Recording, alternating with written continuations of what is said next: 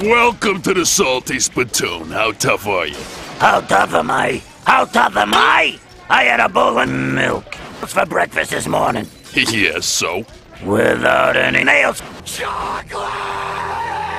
Uh, right this way. Sorry to keep you waiting.